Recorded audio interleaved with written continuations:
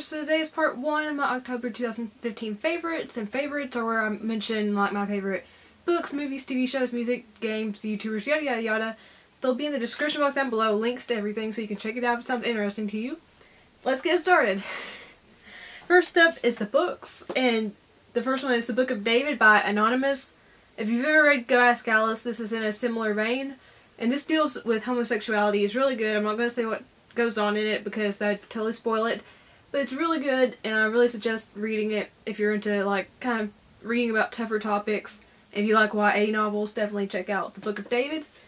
And the next book is The Museum of Intangible Things by Wendy Wunder. Now, I read her uh, previous book last month, which is a lot better than this novel, I have to say. But this is still a really good novel. I read it in a day because I was just so engrossed in it. This deals with bipolar disorder and first love, stuff like that. Really good. Again, not as good as her previous work, but it's still a really worthwhile read and it's really fast paced and interesting.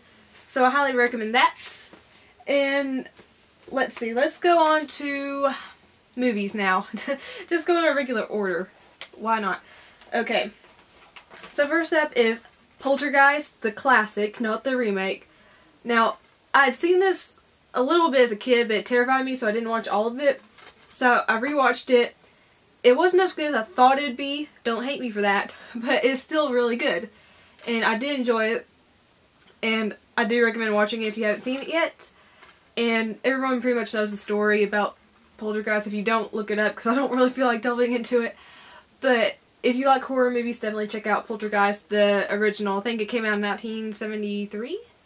Yeah it's good. I've heard the remake isn't. I don't know. I haven't checked it out. But, original Poltergeist. And secondly, this is the last one I have as a physical copy, is the Texas Chainsaw Massacre. Now, I do have to say one thing about this. I was prepared for a lot of gore because everyone warned me about the gore. But then I watched it. It's not really gory to me. I don't know if I'm just desensitized or if it's just not as gory as people made it out to be. But, yeah. It's still good though. It's about, you know, Leatherface. Leatherface! Leatherface. I can't say it like Johnny Tez does. I'm terrible. But it's about Leatherface and, you know, the stupid kids and all that. So, definitely check it out. Of course, this is really interesting because it was inspired by Ed Gein and uh, Tobe Hooper went to Home Depot and saw like chainsaws hanging. So that's where I got the idea from. I learned that in forensic science, people. Some things are useful from school. So definitely check out Texas Chainsaw Massacre if you're into horror movies and you haven't seen it yet. This is the original from the 70s. Maybe this was 1973. I know one, I think Poltergeist was the 80s. So sorry about that. This is from the 70s. Liz is a little confused right now, but she'll be okay. And I'm talking in the third person. Next movie, the next movie is Reanimator, and of course I just watched this for the first time. I hadn't even heard of it previously before this year, but it's really good. And of course it's based off of H.P. Lovecraft's story.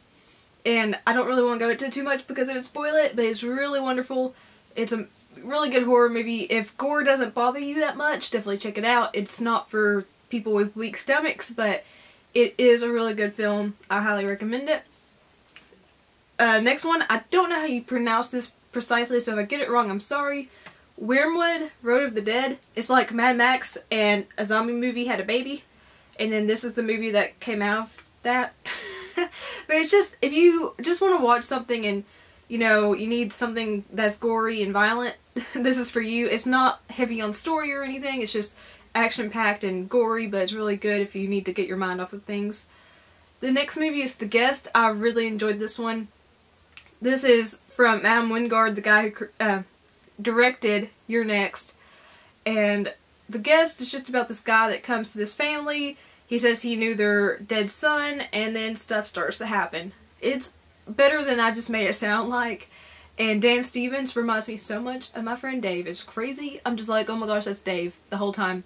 It doesn't help that the main character's name is David. So it's just like, wow.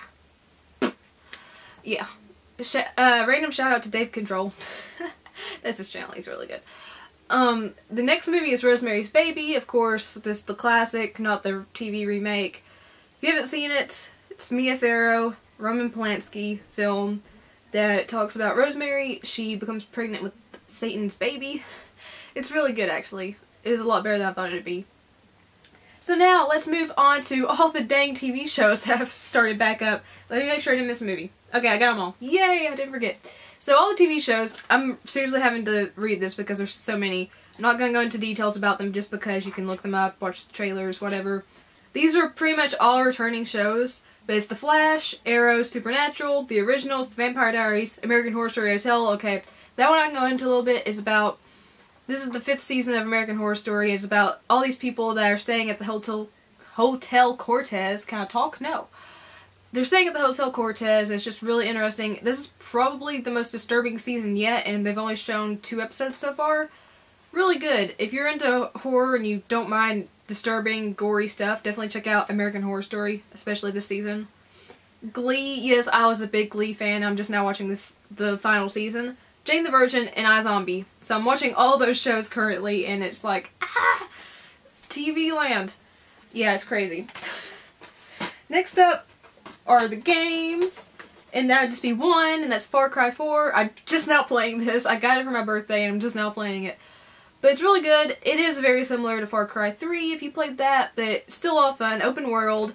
You know, story's not the biggest focus, but it's just a lot of looting and just going out in the open world and seeing what happens and all that. Really good if you like open world adventure games, but be warned it does suffer the Ubisoft curse of having to climb up a dang tower to unlock more parts of the map. That gets on my ever-loving nerves. Ubisoft, come on. And lastly is the YouTubers, and that's just one I'm going to mention, Everyday Geek. They're so cool. It's um, a dad and a daughter, and they do like different kind of things like Funko Pop hauls and movie reviews and unboxings and stuff like that. They're so adorable. Go check them out. They're just a really lovely family. And that's my favorites. I know I didn't go into too much detail and I'm not as peppy as I usually am. Going through a little bit right now, but I'll get better. And I hope you enjoyed this and let me know what your favorites were this month because I'll totally check them out. Uh, like the video if you liked it. Like I said, comment down below. Favorites of your friends, family, see. Share me as long as you do it nicely. And remember to subscribe because I love each and every one of you very, very much. And you've got me through some really tough times, so thank you. Just thank you so much. Peace and some more kisses. Bye.